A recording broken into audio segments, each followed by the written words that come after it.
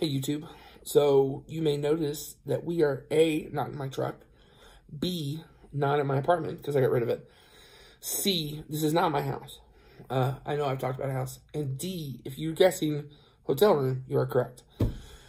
Uh, we are currently in a hotel in Cheyenne, Wyoming. And that is because my truck yesterday decided to blow its injector seals at the top of the motor. And they look like this.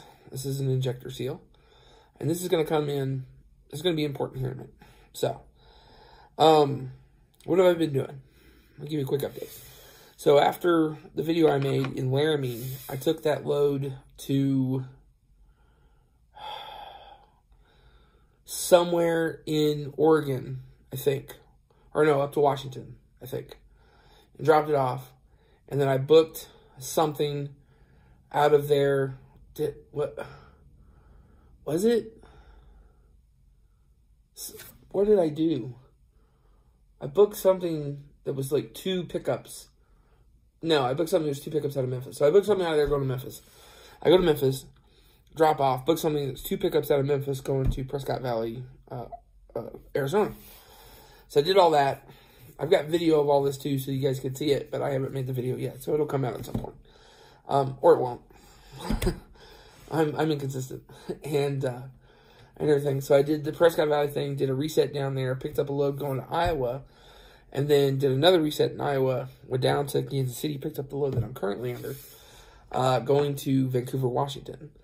I had a load going back to Omaha, and that was going to get me like 10, 850 for the week, which is going to be my best week, and everything. And um, I was I pulled into the port of entry in Wyoming yesterday because they were checking everybody's paperwork. So I get all my paperwork together, go take it, show it to them, come back out, and there was a a, a puddle of oil underneath the truck between one and a half and two feet long and about six inches to a foot wide. And it just steady drip. Steady drip. And I'd been fighting wind all day yesterday. It was about a 50 mile an hour wind. So I don't know what I'm going to do. Can't really go all the way to, you know, Oregon like that. So I got on the highway, went one block down or one stop, one exit down, got back off the highway. and I went into the Sapp Brothers in Cheyenne to uh, have them look at it. And they finally got me in about 8 o'clock and uh, pulled in and said, hey, you're, uh, you're leaking diesel out of your injector seals.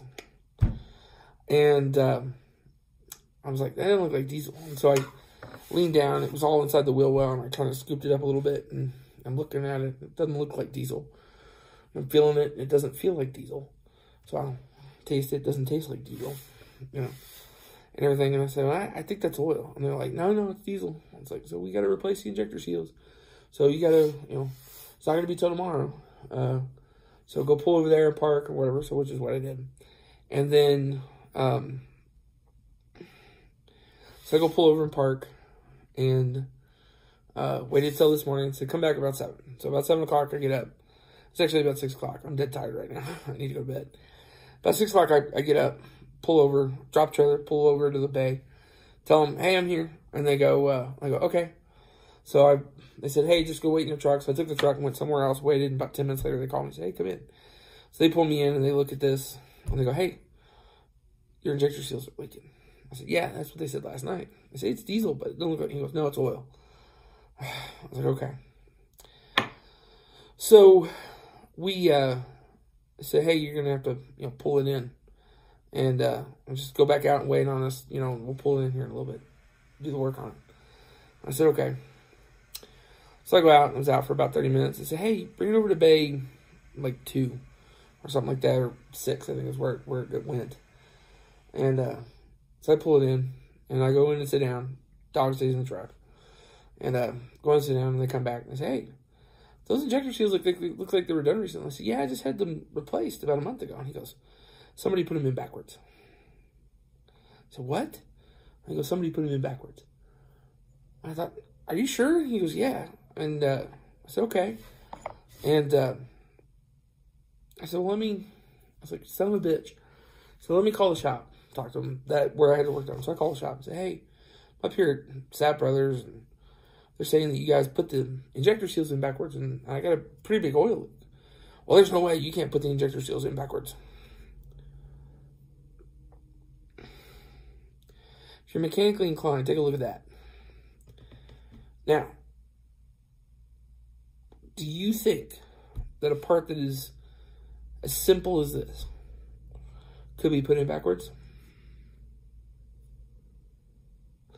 This is the side that goes against the block. This is the side that goes away from the block. See how it's flat on the side against the block and it's not on the side away from the block.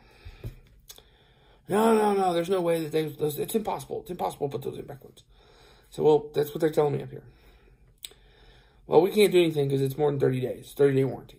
I thought, but you guys screwed up. You did the work wrong.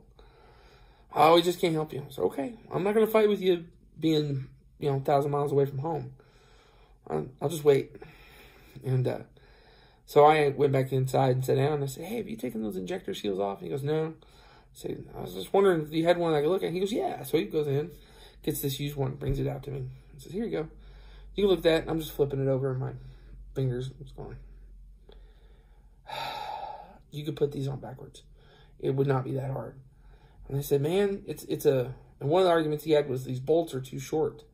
So if you put it in this way, you can see that how far that sticks out. And the bolts are supposed to be too short to bite. Well, yeah, maybe, you know. But if you bend these tabs, if you force it, then uh, no, it would not be impossible to do it. And that's what happened. I've got video of it um, on my Android phone. So, these seals have been put in backwards. If you look, you can see, what does it say right there? Right there. You see it? Top. That's the side out. And I've found pictures online of how these are supposed to look when they're in. And this side is not supposed to be sticking out. And on my truck, it's sticking out. So, it's in the shop, getting oil replaced. And they came to me about 10 o'clock this morning. And they said, hey, this is more than a day job. You're going to have to get a room. So, that's why we are at a hotel here in Cheyenne. And uh, they have a bar here, so I went down and drank a little bit. Uh, I just got done taking the dog out. We're going to get ready to hit the sack because I've been up since 6 o'clock this morning. And it's 11.30, just about. So I'm going to drink some water, go to bed, but that's where we're at. That's my update for you. Injector seals. So if you're watching this video and you've ever wondered what the right orientation for injector seals is, this goes against the block on a DD15 because it may be different on something else. This goes against the block, flat against the block like this. This sticks to the outside.